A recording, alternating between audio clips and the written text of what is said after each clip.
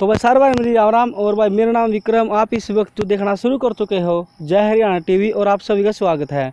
तो जी दोस्तों, मैं आपको बताना चाहूँगी, पानीपत एक जाटल रोड पर एक बहुत ही एक बड़ा मामला है और दोस्तों, मैं आपको बता दूँ कि बताना चाहूँगी मुखीजा कॉलोनी का ये मामला है और एक बहुत ही गंभीर मामला है दोस्तों, और मैं आपको बता दूँ कि पैसों के बदले हमारे साथ है अनिल, और मैं आपको बताना चाहूँगा दोस्तों, जो अनिल है, ये गाँव बादरूड के निवासी है, जो कि सिद्ध हल्के में पड़ता है।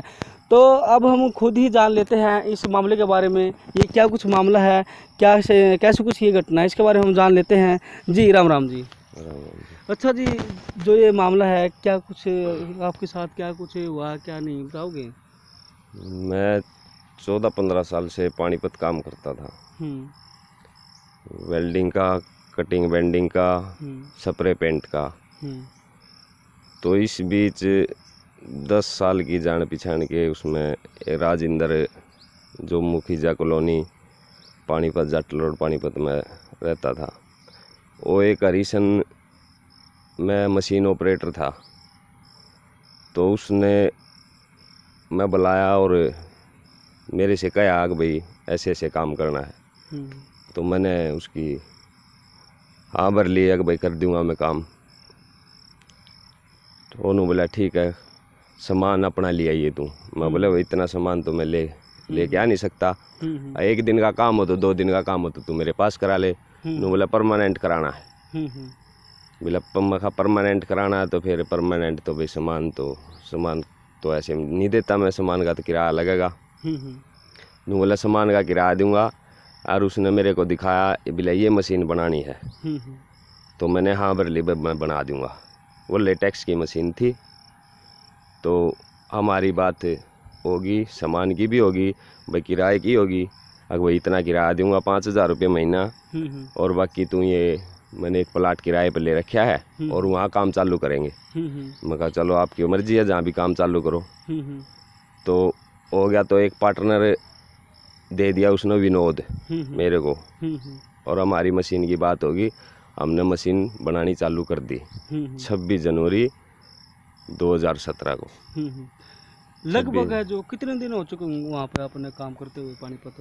पानीपत तो काम करते हुए मैंने चौदह पंद्रह साल हो गए हम्म तो बाकी उस दौरा राजेंद्र दौरा मैंने काम 26 जनवरी 2017 ने स्टार्ट कराया था यानी लगभग तीन साल आपको वहाँ पे हो चुके हैं। मैंने एक ही साल काम किया वहाँ पे। वहाँ पे आपने एक हाँ, साल काम किया है? हाँ जन अट्ठाईस जनवरी 2018 तक ही काम किया बस अच्छा, मैंने। अच्छा एक ही साल काम किया हाँ एक ही। साल काम किया उसकी कई मशीन बनाई। हम्म।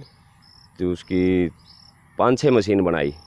और पाँच छः मशीनों का हमारा दस लाख दस लाख कुछ हज़ार रुपये होया। यानी कि आप जो पर मंथ जो एक लाख रुपए आपने वहाँ पर जो कमाए। नहीं हमारा पर मंथ नहीं था जी एक पार्टनर था विनोद। हम्म। और एक मैं था। हम्म हम्म। तो हमारा इतने दस लाख कुछ हज़ार रुपये का काम हुआ दस लाख सत्ताईस हज़ार कुछ रुपये का। हम्म हम्म। तो उसमें तो मेरे मेरे हिस्से में पाँच लाख पाँच लाख कुछ हज़ार रुपये मेरे भंडार में थे। जिसने राजेंद्र ने उनमें से तीन लाख पचपन हज़ार रुपये मेरे को दे रखे हैं। तीन लाख पचपन हज़ार कुछ रुपये दे रखे हैं। तो डेढ़ तो- लाख करीब आपके पास है तो मैंने तो मैंने हाँ तो मैंने एक लाख अठावन हज़ार कुछ रुपये मेरे बाकी हैं। हम्म हम्म। और जब मैंने उस पर ये कहा कि भाई मेरा हिसाब कर दे। लेबर लेबर की उसमें मेरे उसकी कया सुनी होगी? गाली गलोच हुई। हम्म हम्म। वो लेबर लेबर तो बदतमीजी तब पेश आवा था। फिर मैंने कई बार समझाया भी मखा भाई तो इसको मैं जितने मेरे बंदे हैं उस उन तक कुछ कहने की ज़रूरत नहीं जो कुछ कहना तो मेरे से कहो। हम्म हम्म।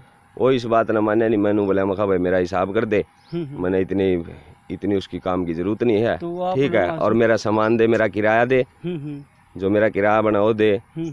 तो वो सामान देने से भी इनकार कर दिया और पैसे देने से भी इनकार कर गया फिर मैं जाता रहा उसको कई बार अट्ठाईस जनवरी ने 2018 ने मैंने छोड़ दिया था काम। मैं जाता रहा उसके पास। ब्याज हम्म। दूँ तड़के दूँ थारा अगले हफ़्ते कर दूँगा दस दिन बाद कर दूँगा। जो मेरा पार्टनर था और जो बंदे थे वे वहीं लग रहे थे। जो मैं आपसे पूछ रहा जो आपका पार्टनर था वो कहाँ के रहने वाले हैं? वो बोरा रसूलपुर। ये कहाँ पे पड़ता है वैसे? यो पड़े जिला जिला सोनीपत हम्म, और गनौर में पड़ता है। जो आपके पार्टनर थे उसने आपको कुछ साथ नहीं दिया कि इसके पैसे दो इसके अलावा और कुछ बात उसने तो बतेरी बार का आगे जी अगले का सामान दे दो या वो दे दो काम तो कर लेगा। उसने तो बतेरी बार का को ये कोई जिब मैं ये कहना चाहूँ जिब मैं फंस गया। हम्म हम्म। मैं मेरा ही नहीं हो हिसाब करता। हम्म, तो क्या पता उसका भी नहीं करता हो? सही बात है। क्या पता उसका भी नहीं करता हो हिसाब? है ऐसी कोई सिचुएशन आ रही हो अगले तो अगले ने फिर भी बतेरी बार कहा अगर भाई इसका तो सामान दे बोल रहे कि उसका भी हिसाब नहीं किया होगा लेकिन उससे फ़ोन से उस, आपकी बात होती रहती होगी उससे मैं भी आपसे कुछ बताते रहते होंगे उस मेरा साहब के रह के निकल उसके बारे में कुछ बताया मेरे सामान से हम्म। मेरे सामान से उस मेरे पार्टनर ने 2019 तक काम कराया। हम्म हम्म। वर्कशॉप में जो मेरा सामान था मेरे ही सामान से 2019 तक काम कराया। एक विनोद ने एक मेरे पास सुल्तान पेंटर था हम्म हम्म। और रसूल बोरा रसूलपुर का ही था। हम्म और एक क्या नाम लिया एक राहुल था मेरे पास जो काबड़ी रोड पर रहता है।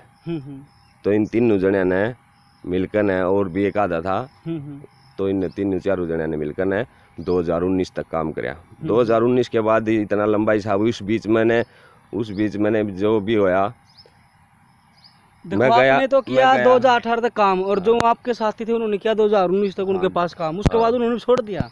उसके बाद उन्होंने भी छोड़ दिया अच्छा। काम। उनकी भी कुछ आपसी तनाव की उसमें होया जो कुछ भी होया कया सुनी हुई होगी या वैसे छोड़ा होगा मैंने पता नहीं। हम्म। ना मैं कह सकता उनकी बात। हम्म हम्म। तो इस बीच में उन्हें सामान दिया मेरे को थोड़ा। हम्म। थोड़ा सामान दिया उन्हें। 2018 में मेरे तय उसकी मेरी वीडियो बना ली। हम्म। मेरा ये सामान हम्म और आपकी और मेरी ये वीडियो हम्म। उन्हें बनाई। हम्म दोनों उसके लड़के योगेश हम्म और राजेंद्र। उन्होंने मेरी वीडियो बनाई अपनी मर्ज़ी से सामान दिया जितना भी दिया मैंने दरखास्त में लिखवा रखा। सीएम विंडो में जो पहली दरखास्त थी मेरी मैंने ग्यारहवें महीने में दरखास्त दी थी। तो 2018 में ग्यारहवें महीने में मैंने दरखास्त दी थी। तो उस कोई भी सुनवाई आपकी नहीं हुई मेरी सुनवाई कोई सुनवाई नहीं हुई। हम्म हम्म। आज तक बुलाते थे पूछे थे। हम्म वो उसकी वीडियो दिखाओ थे मैं बोला जी मेरा सामान पूरा करा दो। सामान बहुत चाहिए। मशीन बनाने में सामान बहुत चाहिए है। कोई कम सामान नहीं चंदा। ठीक है सारे औज़ार चाहिए हैं सब कुछ चाहिए। मैं बताता रहूँगा आपको आप लिखते रहो।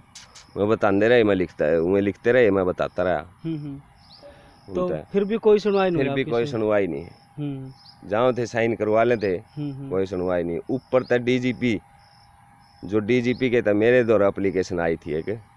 मैंने वह किसी से दिखाई इंग्लिश में लिख रही थी। मखा जी इन्हें देखिए यू के है। जब उसने नु कहा अकबर डीजीपी ने ये कह रखा तेरे अकबर तेरी कार्रवाई करी ज़रूर करी जाओगी कानूनी कार्रवाई। तो आज तक भी मेरी उसने भी कई महीने हो, सीएम की तरफ़ से कोई आपकी सुनवाई नहीं हुई और जो डीजीपी है उसकी तरफ़ से भी कोई आपकी सुनवाई नहीं हुई हाँ, उसकी तरफ़ से भी कोई सुनवाई नहीं हुई। हम्म हम्म। और दो जिबू ने सामान दिया पहले 2018 में सामान दिया उस तो पहला मेरे तय गोली मारने की धमकी दी। अच्छा आपको मारने की धमकी दी गई गोली मारने की गोली जो गोली मारने की धमकी दी हम्म। फिर बाद में